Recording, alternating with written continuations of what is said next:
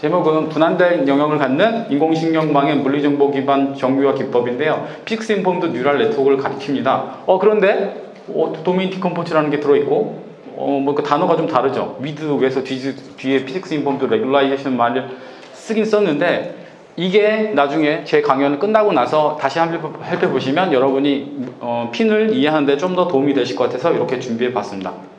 자, 아이, 연구의 모, motivation이에요. 그 2023년 5월 3일 온라인으로 최민석 교수님이 아마 그 오늘 PINN의 창시자이신 그 조지 카니아다키스 선생님을 모시고 세미나가 좀 있었습니다. 거기서 나왔던 것들이 뭐 spiking neural network, 어, DeepONet, 그 다음에 CrunchGPT, 그 다음에 vision transformer 관련해서 이런 것들이 있었고 아마 이런 것들의 앞부분 내용은 두 교수님께서 좀 말씀해 주신 걸로 알고 있어요. 저는 어디에 focusing을 뒀냐면 마지막 질문 중에 하나가 뭐였냐면 그 Navier-Stokes equation에서 high Reynolds number가 될 때 vortex가 있을 때 수렴이 잘 안 되는데 그걸 어떻게 푸나요? 라고 질문이 있었는데 이건 모든 사람들이 가, 다 같이 갖고 있는 질문일 텐데 카니아다키스 선생님께서 이렇게 키워드를 몇 가지를 주면서 계속 설명을 해주셨어요. 저는 그거를 이용을 해서 오늘 발표자료를 좀 만들었습니다. 그래서 처음에, 어, ill-posed problem이고 regularization, 그 다음에 data addition, domain decomposition, 그래서 XPINN, artificial viscosity, weak form 뭐 이런 것들이 있었습니다. 제가 그래서 오늘 이런 거에 대해서 좀 풀어서 설명드리려고 합니다.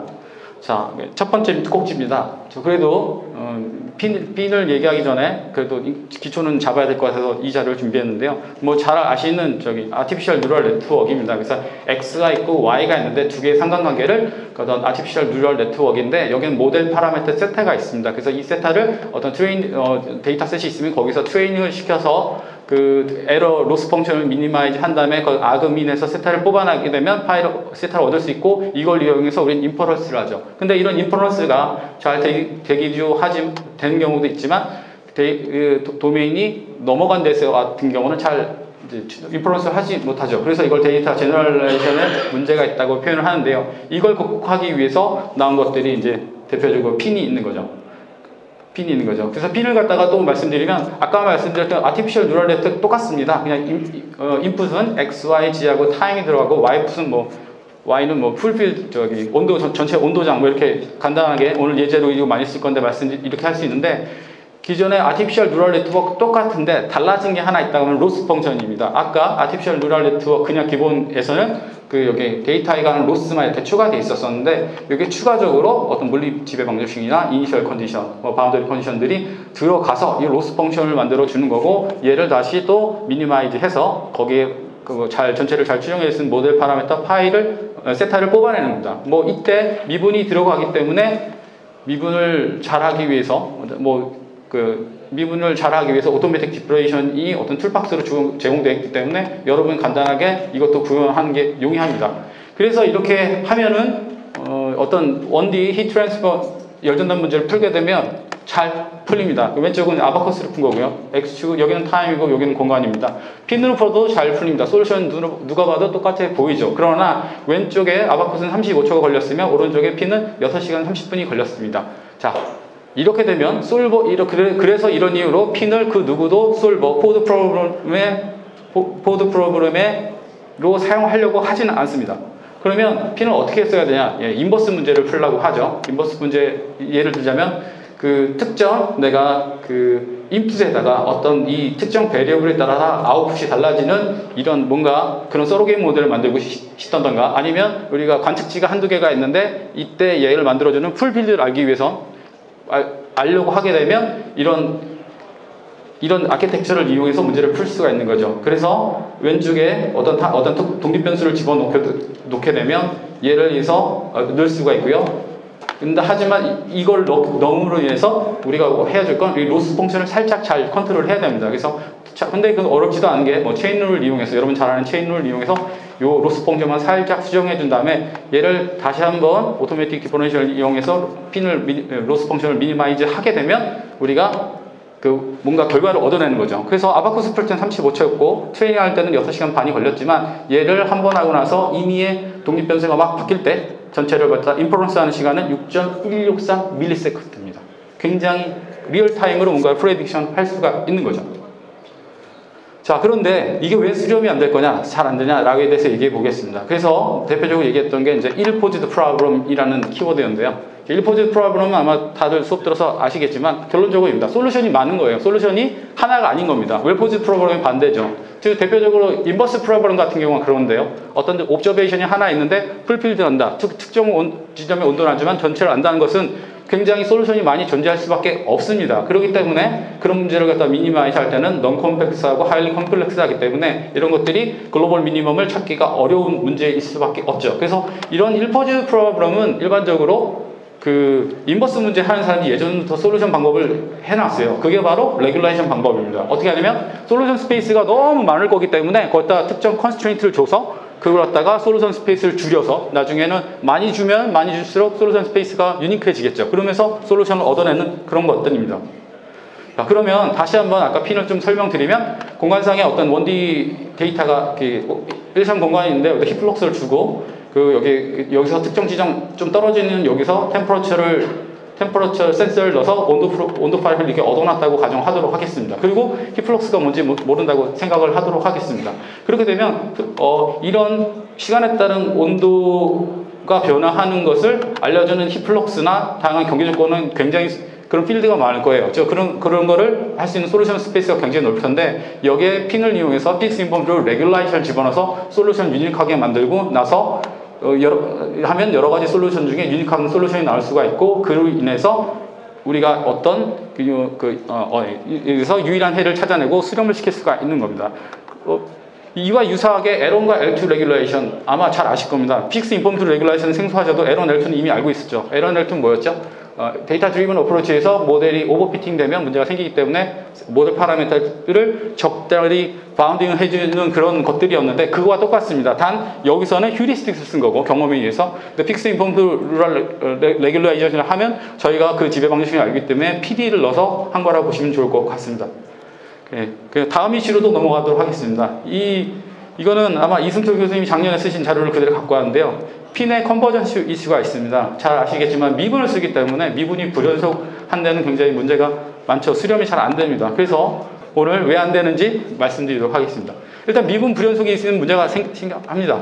그래서 이거를 갖다가 그 이런 ANN Artificial Neural Network를 갖다가 한번 어, regressor로 한번 해서 어떤 필드를 한번 인터 외사 뭐냐 한번 fitting을 한번 해보겠습니다. 다음처럼 잘 아시는 step function 있는데요. step function의 데이터를 넣고 이걸 갖다면 저희가 ANN을 이용해서 한번 curve fitting을 해보도록 하겠습니다. step function이기 때문에 여기 끝나면 불연속이 돼야 되는데 우리의 A는 유니버셜 펑션 어프록시메이터라고 그렇게 자랑했던 ANN은 얘를 표현해 줄 수가 없어요. 가운데 무조건 어떻게든 연속으로 만듭니다. 그래서 이렇게 쓰면 안, 되, 안 되겠죠. 그래서 이럴 때는 차라리 artificial neural network를 두 개를 써서 이렇게 나누고 이렇게 나누고 여기를 상관관계를 안 맺는 게 더 자연스러울 수 있습니다.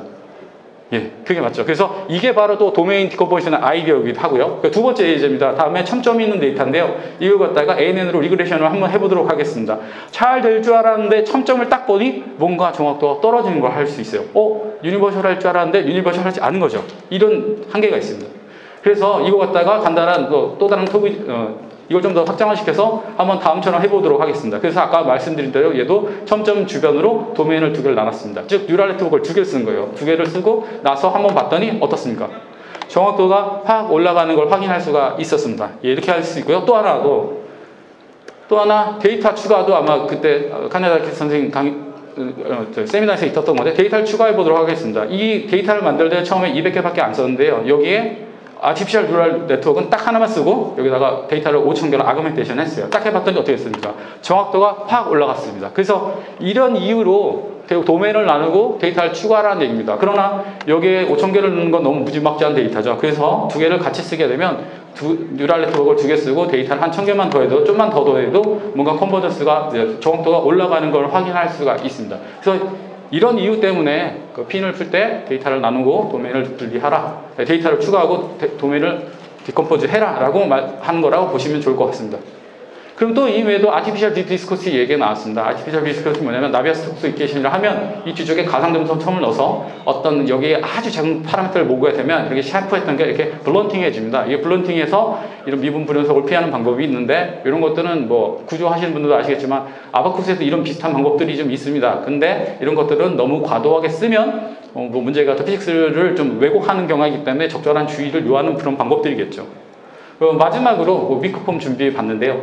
strong form과 weak form이 있습니다. weak form은 아까 뭐 교수님 다른 교수님도 설명해 주셨지만 weak form은 굉장히 stable하다라고 알려져 있습니다. 뭐 가, 간단하게 뭐 L2, L2는 보면 어떤 그 델타 U가 one over 루트 루트와 singularity를 따진다고 하면 이거를 L2 space 제곱해서 integral 하면 이건 R분의 니까 로그 R이 되죠. 그렇기 때문에 이런 걸 갖다가 이게 integral term이 무한대로 발산하지 않기 때문에 뭐 stability 좋다라고 학교 다닐 때 그렇게 배웠던 것 같습니다. 그래서 그 자료를 다시 넣었고요. 그래서 좋긴 한데 저는 개인적으로 이거 굉장히 반대합니다. 왜냐면 아 지금은 그러니까 아, 앞으로 할 때 연구를 너무 심도 있게 좀 반대하는 이유가 다음과 같습니다. 일단 그 고체역학 문제 말고 유체역학 문제 보시면 잘 아시겠지만 유체역학 문제 할 때 사람들이 weak form을 쓰지만 FEM을 쓰지 않는 게 이제 adjoint 문제가 있습니다. 앞에 뭐 잘 아시면 가속도에는 국지 가속 예, 가속도 term, term, 때문에 그런 걸로 알고 있고요. 그래서 이걸 피하기 위해서 뭐 부브노프 갤러킨, 뭐 페트로프 갤러킨 뭐 이렇게 weak form 바꾸기도 하고 근데 페트로프 갤러킨 쓰면 뭐 행렬이 뭐 full matrix가 돼야 되고 뭐, 이런, 뭐 아이가 공부할 게 좀 뭔가 많습니다. 그리고 또 FEM과 FVM 또 차이를 한다고 하면 FM은 노드 베이스 그리드를 노드 정보를 쓰고 FVM은 가운데 뭐 cell base를 써야 되고 뭔가 지금 벌써 머리가 아프시면서 공부할 게 많죠. 이렇게까지 공부를 하게 되면 multiphysics 문제를 풀기 굉장히 어렵습니다. 그래서 저는 아직도 이그그 PINN의 그레이터 이, 이 아이디어 굉장히 좋아하는 게 이걸 이용하면 multiphysics 문제를 푸는데 얼마나 powerful할까 그 생각을 좀 하고 있습니다. 그래서 저도 연구도 이쪽을 좀 하고 있고요. 그래서 저는 어, weak form이 좋긴 한데 아직도 strong form을 좀 갖고 연구하는 걸 좀 지향한다라고 말씀드립니다. 그래서 마지막으로 뭐 그 toy example 좀 준비해 봤습니다. 그래서 뭐냐면 PINN, 어, PINN을 아까 데이터를 나누고 도메인 decompose를 해야 된다는 말씀드렸는데 그 이게 그 이거 관련해서 나오는 스킴이 바로 C핀과 X핀입니다. 그래서 중간에 뭐 APINN도 있는데 오늘은 cPINN과 XPINN만 말씀드리도록 하겠습니다. cPINN은 다음 것 같습니다. 그림이 참 잘아는데요 이렇게 복잡한 걸 있을 때 다음처럼 도메인을 무조건 하나를 쓰는 겁니다. 즉 neural network 하나만 갖고 뭔가 interpolation을 하는 거죠. 네, 이렇게 되면 이렇게 해도 뭐 나쁘지 않겠지만 neural network가 굉장히 힘들 겁니다. 그래서 cPINN은 뭐냐면 각각의 도메인을 나눈 후에 도메인을 나누는데 얘가 연속 조건, 그 필드 연속 또는 flux 연속을 주는 겁니다. 그래서 하나, 둘, 셋, 넷, 다섯 개를 주고 그 다음에 연속 조건을 잘 주자라고 하는 겁니다. 그 다음에 XPINN입니다. XPINN 같은 경우는 그 공간상으로 이렇게 나눌 수도 있지만 시간상으로도 나누기도 하고요. 또 하나 어떤 그 인터페이스 연속 조건을 갖다가 어, PD의 레지듀얼을 쓰기 때문에 복잡한 복잡한 인터페이스도 처리할 수 있도록 나온 게 바로 XPINN입니다. 그래서 어, summary한 차트는 여기 있는데요. 그래서 그냥 또 이런 KDB 이케이션을 갖다가 PINN으로 푼 거랑 cPINN을 푼 거랑 비교해 보면 정확도가 도메인을 나눠서 푼 게 더 유리하다라고 정확하다라고 설명을 좀 하고 있습니다. 그리고 요거는 XPINN 얘기인데요. 여기 보면 XPINN에 돌고래가 있는데 무슨 아, 다들 놀라실 거예요. 뭐 돌고래가 갑자기 나오면서 이건 뭐냐라고 말씀하신 게 이게 바로 그 XPINN에 그 어떤 임의의 도메인을 써도 잘 풀린다는 임의 형상을 갖는 도메인을 써도 잘 풀린다고 하는 XPINN의 강점을 나타낸 그림인데요. 보통 cPINN은 극단적으로 normal flux를 썼습니다. 인터페이스 normal이기 때문에 도메인을 찾아서 저걸 해야 될 거고요. 그 근데 XPINN 같은 경우는 그 normal flux를 직접 쓰는 게 아니라 residual PDE를 쓰기 때문에 이런 복잡한 형상을 잘 표현할 수 있는 걸로 알려져 있습니다. 그래서 마지막 toy example인데요. 그 bimaterial 합니다. bimaterial 뷰의 왼쪽에 시간에 따라 이런 온도로 왔다가 좋았습니다. 줬을 때 그러면 시간에 관한 singularity가 존재할 거고 공간에 관한 singularity가 있을 건데 이걸 PINN을 쓰면 도메인을 하나를 써야 되고요. 시간과 공간에 대해서 그 다음에 cPINN은 도메인을 두겠습니다. XPINN은 공간과 시간에 대해서 이런 식으로 나눠 쓸 수 있겠죠. 하지만 이렇기 때문에 연속 조건이 인터페이스 연속 조건을 굉장히 복잡하게 줘야 되는 단점이 있습니다. 그래서 이게 솔루션인데요. 솔루션을 보게 되면 Abaqus는 굉장히 정확히 잘 나왔을 거고 P는 바이머털 디스컨티는 잘 표현 못하는 거고요. cPINN과 XPINN은 거의 비슷하긴 한데 어, pointwise error를 보게 되면 여기, 여기 특정 부분에서 얘가 더 정확도 아래 XPINN 더 높은 걸 확인할 수 있습니다. 예, 이외에도 뭐 PINN을 개선을 성능을 개선하기 위해서 여러 가지 뭐 solver라든가 adaptive activation function이라든가 어떻게 loss weight들이 있는 거 있, 있는데 이런 것들은 여러분이 나중에 공부를 할 때 키워드만 알고 계시다가 심도 있게 학습하시면 좋을 것 같습니다. 마지막으로 결론은 이걸로 짓도록 하겠습니다. 제가 domain decomposed neural with physics informed regularization 말을 썼는데요. 이제 어떻게 이제 눈, 눈에 들어오십니까? 아무튼 제 발표는 이렇게 마치도록 하겠습니다. 감사합니다.